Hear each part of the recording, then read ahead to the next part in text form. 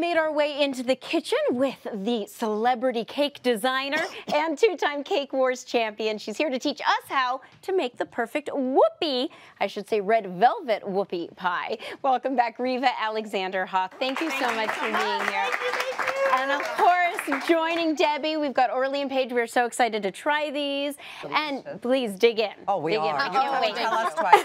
Oh, with a oh, fork? I don't know. The No, just bite it. It was Oh, here. okay. Well, maybe Yeah. that was you. You can go. You can do a fork, or you can just.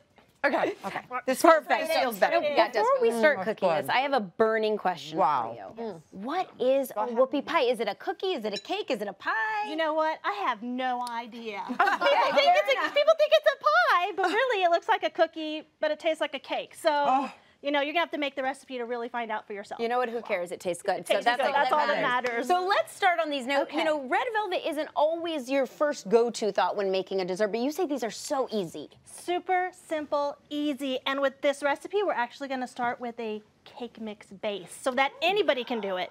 Anybody, anywhere, just follow the recipe and you got it. Oh, I love it. So just from the store. from the Okay, store. Okay, so let's start. What have we got already started in our So standing mixer? In this bowl right now, we have all the dry ingredients. And once you put it in there and you kind of mix it up a little bit, get everything incorporated, then we'll add in the liquid. okay, and you to add cocoa powder. I did. I add a little bit of cocoa powder. It's not straight from the box recipe, this one. It's actually, we're adding stuff to it. We have a little bit of flour, a little cocoa, you a little extra. And that helps bring out the flavor, right? And Yes, the it does. Okay, wonderful. Now we add the wet ingredients. We do. So if you want to go ahead and turn this on, and we're using a beater, because you always use a beater when you're using for okay. batter. Okay, so tell us what, what so we, we have doing? some buttermilk going in here. Mm. So it's not your normal recipe, right? We're not going straight water. We're using buttermilk. We're adding flavor in here, getting the oil as well. Look at the color starting to emerge. And as you can see, the red's there, right?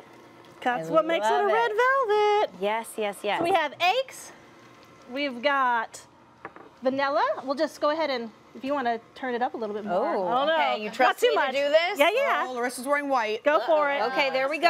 Oh, more. Come on, come on, Oh, come on, okay. come on, come on. Oh, Let's do it. That's good. That's good. That's good. Okay, Let's there we turn that go. So now that we have the batter all done, you want to probably mix it about one to two minutes just to make sure it's fully incorporated. Okay. No lumps and bumps. But since this was too one more quick, we'll go a little faster, right? I didn't do it all. You didn't do it all. So go ahead and open this up. Okay. Just set that aside. So we're gonna make this super easy. Super easy. We're gonna go with a scooping method. Okay. Do you want to scoop or would you like? I'll to let you scoop. I'm Oh, going to sit back and watch. Now, let me ask you a question because uh, if you look at the finished product, they're going to grow. So, how far apart do you want to are. place They're them on the gonna parchment grow, so you're gonna want to make sure you have about two inches in between. Okay. Just so you have the room for the spread. And all you do is you go ahead and scoop these out straight cookie scoop, whatever Wow. you got. You sure you don't want to scoop them? Okay, I'll go for one. One, uh, two, three. Do that. Parchment paper. How parchment important paper. is it? You want to make sure you have something on there that you're going to be able to peel these off really easily. So we have parchment paper down. You could also do a sprayed pan if you'd like. Okay. So that'll be nice. Easy. Yeah, and so you have the space in between, so you're really allowing for the at that. spread, right? Look at that. You're, look at that, you're Wonderful. perfect. Okay, so if now we do one it- more, Sure, go for it. then it's even. All right. There we go. Just saying. Okay, I know, right? So then we put these into the oven, 350 degrees for about 10 to 15 minutes. You want to make sure that when you pull it out, you're checking for doneness, so either a toothpick or a nice touch Touch the it like it should be firm, right? Yeah, Kind of yeah. So we'll go ahead. Woo! And that would be great just to eat like that when Boy, you take them out of the oven. hot. yes. Yes. yes. Really good. Oh, So once you put it in there, into the magic oven, look at that. Beautiful. Mm. we have a beautiful whoopie pie. Look at that. And now gosh. we're going to make our filling, but before we assemble it, you'd want to let these cool, correct? Yes, you're going to want to let them cool just because if you put the filling into them, they'll melt out. Okay. Right? So you want to let them set. So they've cooled down. yes, yes. Right? So- Woo! okay, now we got to talk about the filling, though. What do you put in these? Because Yes. What did you put? It is. amazing. So It is Magic. next level. not only is it is it a cake or is it a cookie, right? Mm-hmm. Now we have the addition of do we use buttercream or do we use marshmallow cream? What? What is it? Exactly. So I like to do both of them. Oh, that's why and I mix it together.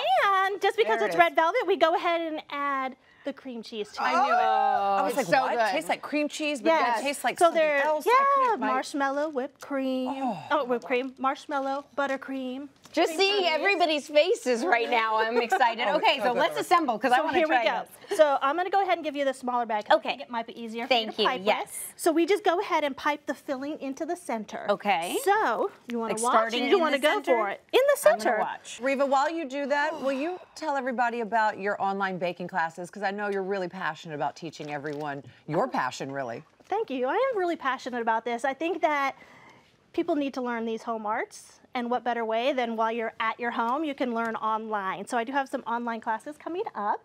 You can find out all the information on my website. So pretty. But yeah. And you're a great teacher. You're so much fun to watch, and you Thank make it so simple. Wait, So we can pretty. actually make stuff that looks that good. Yeah. I mean, Uh, yeah. look at, I just made these.